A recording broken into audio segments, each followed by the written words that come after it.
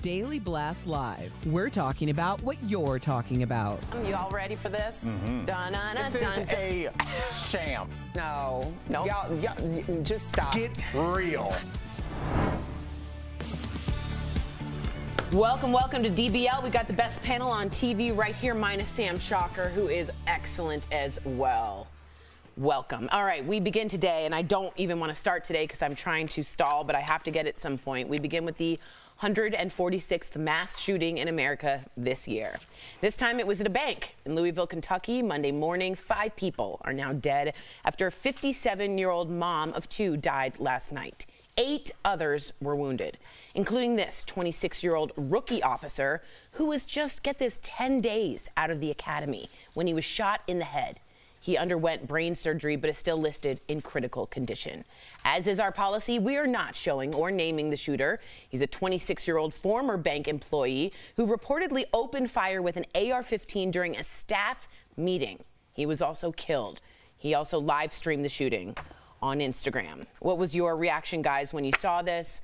Uh, there was no red flags, apparently. What was your thought when you saw this, Al? Uh, just personally, I know exactly where that bank is. I know Louisville like the back of my hand. When I did MTV Made, I spent an entire summer there. I performed there uh, probably three dozen times. I know people there, so I thought about how closely knit that community is and how it must have just destroyed just the fabric of uh, Louisville's a different kind of place. It's a different kind of place, and it, I, I, I guess at this point I don't know what to say. We're going to go into their background, and this person is mad about being fired, and the other person is a, a white supremacist, and the other person is is is a, is a disgruntled. It doesn't matter the reason. Every we're talking about 25 and 26 year olds. Families are shattered, Erica, forever, forever, and the fact that somebody that's just now fired can just go get an AR-15. Oh, okay. Did they have weapons like that even in like World War One? I, I, I, I don't know. I, it's just, what are we going to do about this, guys? Because it seems like we could just take the day off and just kind of run the same so- story, sad as that is, Erica. I don't know. I don't know where we go, and I, it looks like the decision's to stay the course, which is to just do the story every two or three days.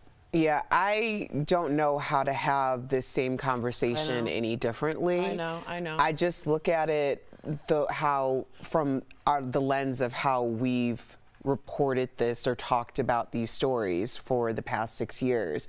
And we've talked about this before. It's very different than our first couple of seasons. Yeah. Mm. You know, um, it, and I think about it in terms of how we have all apparently decided to become conditioned in order to deal with these stories because when we talk about gun control, when we talk about mental health, when we talk about safety and security in our country, everything is so politicized as if everyone's not bleeding red as if the bloodshed isn't the same, as if people's lives and families being dismantled don't have the same type of impact. Yeah. Um, this is such a strange conversation because there's no way to other, because it literally affects everyone. We are all in the crosshairs um, potentially at any time. And it doesn't seem alarming enough for our leadership and our government to do anything about it. So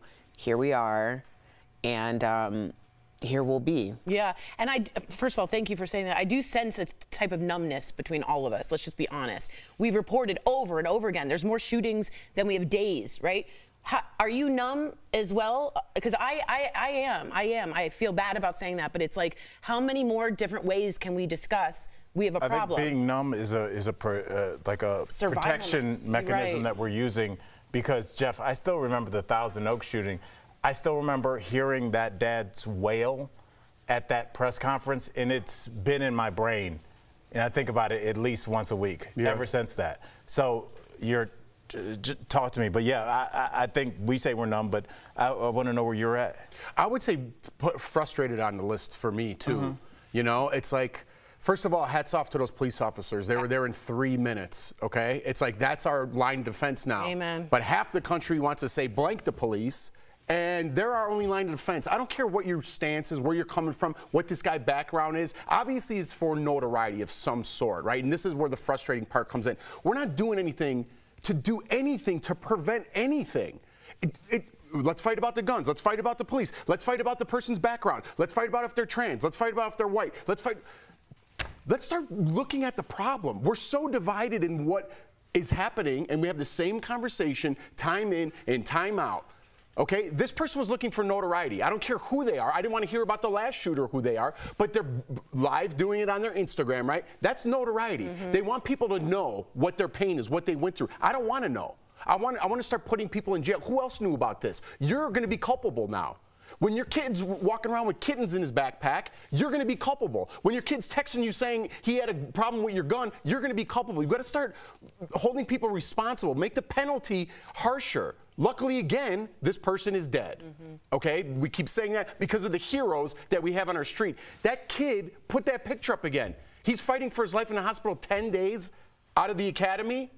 It's like we're sending our kids to Vietnam all over again. They're storming the beaches of Normandy in our own country. Abs- well said. Yeah. Well, well, I was just going to say, but it's here. Speaking of what you're saying, who else is culpable? Let's move to this. We have an update on that six year old, you all remember this, who shot his teacher. This happened back in January to school in Virginia. Now, the teacher, remember her name, she's 25 year old Abigail Zwerner. She was shot through the hand and the chest. The boy's mother was indicted yesterday. This is why I was speaking about what Jeff was saying, and is now facing charges of felony child neglect and a misdemeanor count of recklessly leaving a loaded firearm so as to endanger a child. What do we think about this? Al, I remember specifically you saying, charge the mother, charge the mother. Will this be something, a baby step, a tiptoe? I think this could possibly be obviously it's a slippery slope because you start going well it's hard to tell what people knew. But we now know that we've covered a couple stories now where they're they're definitely the parents go yeah he was being really weird and stockpiling guns and he was writing weird things on facebook and i was texting him you better not buy another gun. Why are you texting that to your 20 year old that's had mental health problems probably since they were five or six years old? There has to be and i always give the analogy if i have a, a, a rottweiler and it gets off the leash of my yard and it tears up a three year old, I'm responsible mm-hmm. for that. Mm-hmm. Well, your Rottweiler just killed 10 people or 5 mm-hmm. people. So we, what is what is this? We've had the same conversation. I mean, the same conversation could be had about Parkland. Um, Uvalde, Columbine, Columbine, the, the, uh, Columbine. the, original. So yeah, is this uh, mother being arrested going to change anything?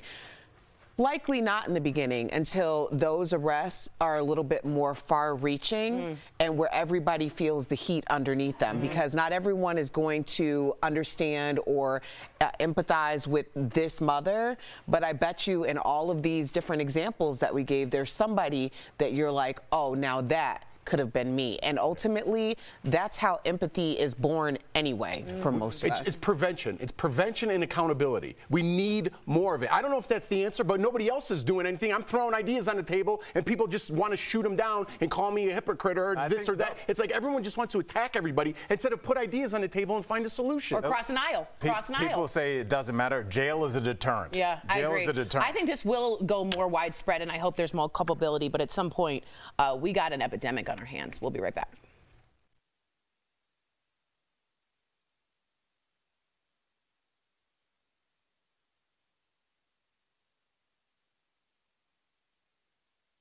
Everybody roll the clip. Let's make sure we have Jeff's sex tape. Wow, things are getting spicy here at TV. Cold-hearted snake, look into his eyes. Let's that roll that again, everybody.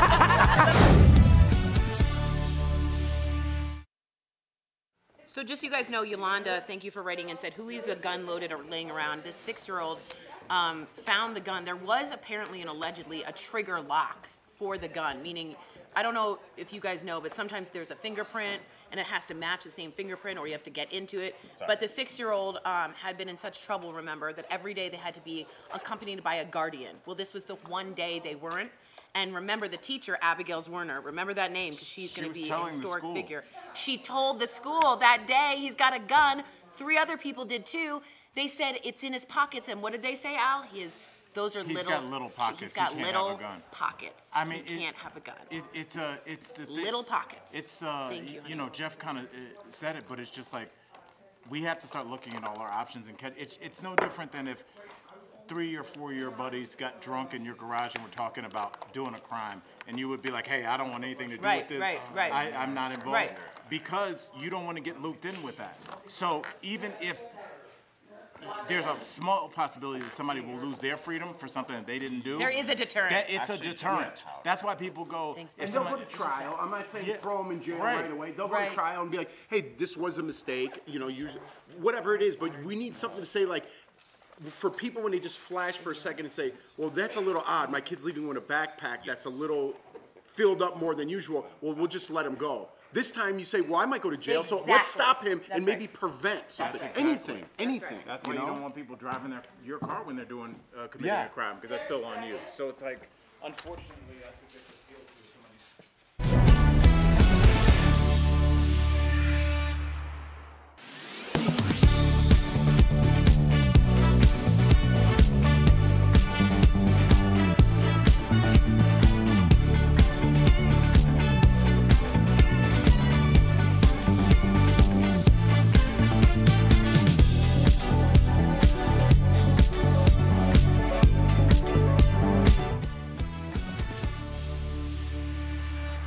Welcome back. So we have an update on a story y'all talked about last week when I was in here, and I can't wait to discuss this with you. If you recall, Bud Light came under fire after it partnered with a transgender TikTok star to promote its beer. Kid Rock showed his anger over this whole thing by shooting up cases of the beer. More recently, country music singer John Rich said he pulled cases of Bud Light from his Nashville bar as part of the boycott. Other bar owners across the Midwest and South are saying customers are revolting. So, what was Bud Light thinking? Because they've been rather silent about it, right? Here's what Bud Light's VP of marketing said about the brand and her decision to court new drinkers. Take a look at this. this brand is in decline. It's been in decline for a really long time. And if we do not attract young drinkers to come and drink this brand, there will be no future for Bud Light. Bud Light had been kind of a brand of fratty, kind of out of touch humor. And it was really important that we had another approach. So, DBL Nation, we want to hear from you. Will this hurt Bud Light's brand or not?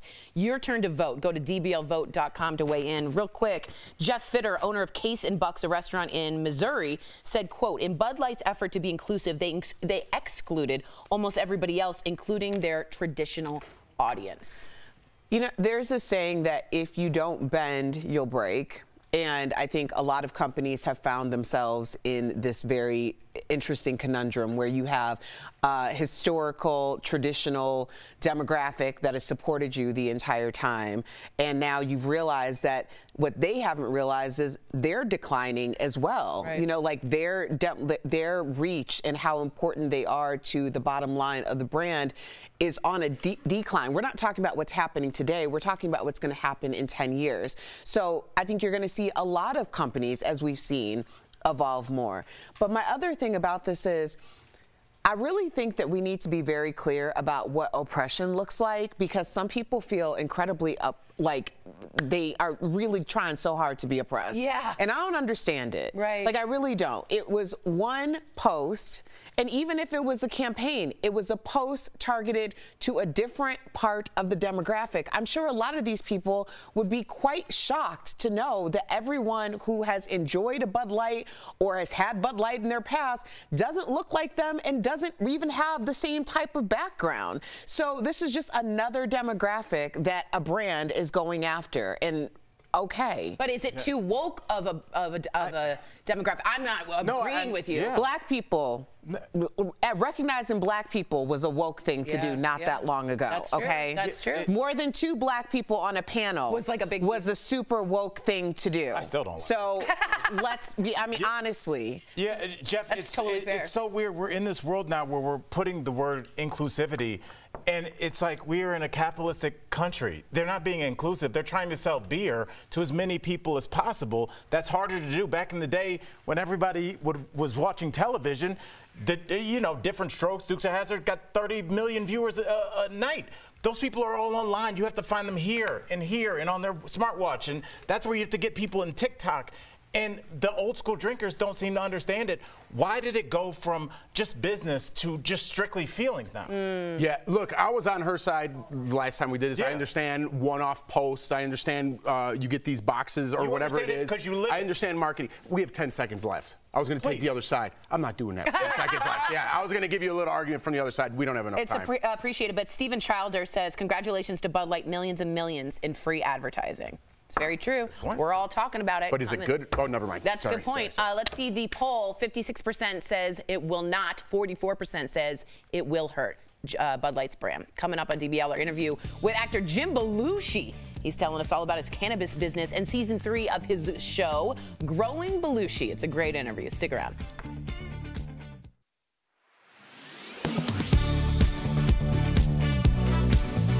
Okay, be honest. Have you done your spring cleaning yet?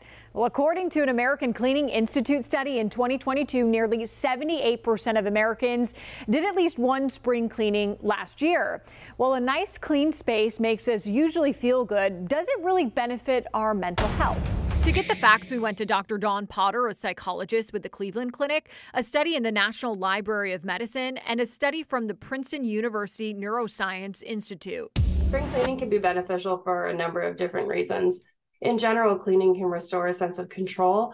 A 2010 study in the National Library of Medicine shows people who describe their homes as cluttered or full of unfinished projects were more likely to suffer from depression than those who describe their homes as restful and restorative. It can also be beneficial because a lot of people find clutter distracting, so engaging in some spring cleaning can um, help you kind of refocus on your other goals. Princeton University compared the impact of living in clutter versus organized spaces and found people living in cluttered spaces had too many visual stimuli, like shoes on staircases, dishes in the sink, and wrinkled clothes.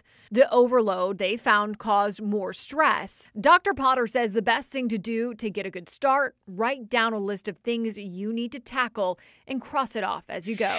If cleaning feels overwhelming, you can set a timer for 20 minutes and tackle just one cleaning task during that time. You can also listen to a podcast or music to feel more energized while cleaning. With your Verify Fact Check, I'm Megan Bragg.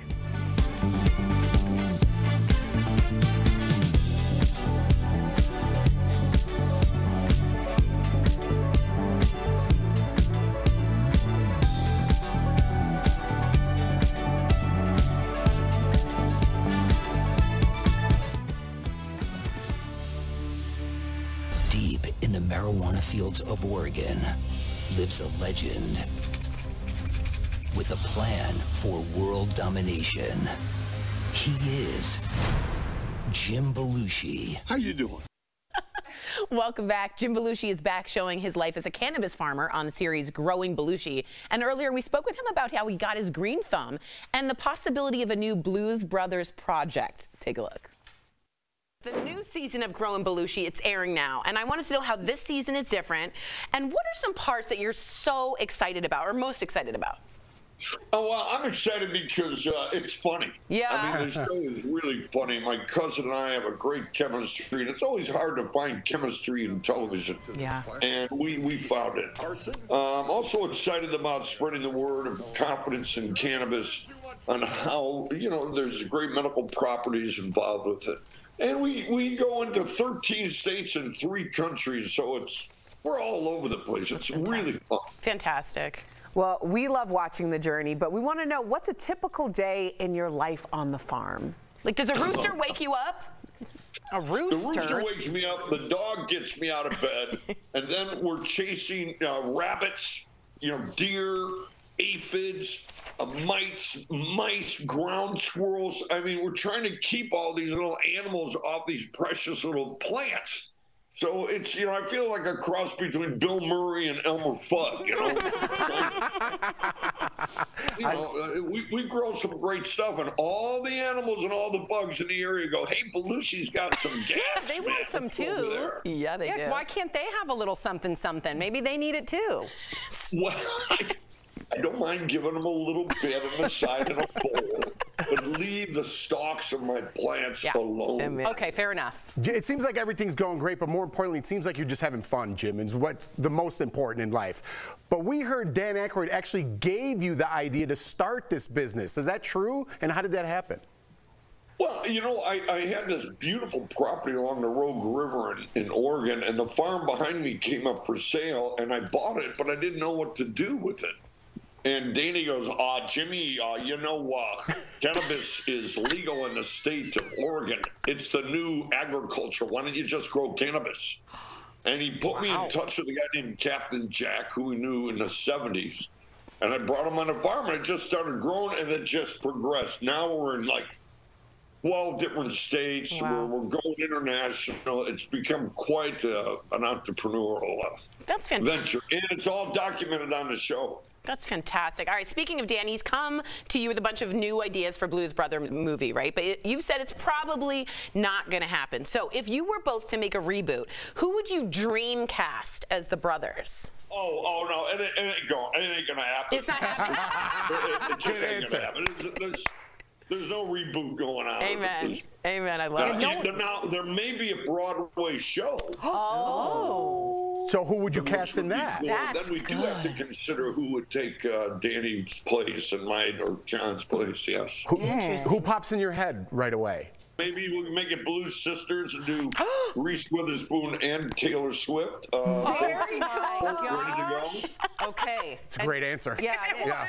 Thank you so much. You're definitely one of our dopest interviews. Oh no.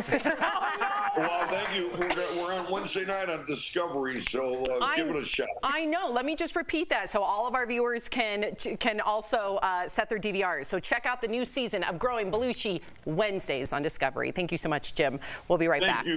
Th- Thank, you. you. And if you get hold of uh, Taylor, let you know. Yeah, I'll call her. tell I'm on it. Free. Free. I got you. A bill in Congress called the Restrict Act has made headlines over claims that it could result in the ban of the popular social media app TikTok. But some people online say the legislation could have a broader impact. Using VPNs to bypass banned apps such as TikTok is made a criminal act under this bill. So, what is a VPN? And can the Restrict Act be used to make it illegal to use one to access restricted apps and websites? Let's verify. Our sources are the Restrict Act, Rachel Cohen, Communications Director for U.S. Senator Mark Warner, Willmary Escoto, U.S. Policy Analyst for the nonprofit Access Now, and the Electronic Frontier Foundation, a nonprofit focused on defending civil liberties in the digital world. This claim needs context. Virtual private networks create a private encrypted connection for you to browse the internet. People use them for all sorts of things, like connecting to internal company networks, watching streaming services in other countries, and yes, accessing restricted websites or apps. The Restrict Act would give the US government authority to ban a wide range of communications and technology products that are deemed a risk to national security. But it doesn't explicitly ban VPNs or impose criminal penalties on people who use them. In fact, the bill's language never includes the words virtual private network or VPN. According to Rachel Cohen, a spokesperson for Senator Mark Warner who introduced the Restrict Act, the legislation is aimed at companies that create a systemic risk to the United States national security, not at individual users of apps like TikTok or VPNs. She says that the bill, if passed, targets people or companies who try to sabotage American communications technologies to a degree that creates catastrophic effects on U.S. critical infrastructure, like interfering with a federal election. So, why does this need context? Well, some experts say the bill's language leaves room for doubt about the people and types of technologies it would impact. U.S. policy analyst Willmary Escoto says the bill is, quote, drafted broadly enough to raise concerns that using a VPN to access TikTok or other services restricted in the US under the Act could result in severe consequences. And experts with the Electronic Frontier Foundation, which has voiced opposition to the bill, said it can be read as criminalizing common practices like using a VPN to get a prohibited app. Penalties for violating the Act include monetary fines and up to 20 years in prison. With your Verify, I'm Ariande Till. Airline passengers could be in for a rougher ride, all because of climate change. Let's connect the dots. Clear air turbulence happens in the absence of clouds or bad weather. It's caused by wind shear, that sudden changes in wind speed and direction. Experts say the jet stream is experiencing more wind shear as global temperatures increase. It's up 15% in the last 40 years and could triple in the next 40. Broad areas of turbulence can be forecast by meteorologists, but specific localized areas of clear air turbulence are challenging for pilots. One way to limit that bumpy ride, fly around the turbulence. But that means longer flights and more expensive tickets. And there are big consequences. Flight attendants experience the most injuries. New data shows that since 2009, over 160 people have had serious injuries from turbulence. That includes broken bones, burns, and internal bleeding. Now, the government is looking at new rules to help protect flight crews amid a dangerous trend. And that is connecting the dots.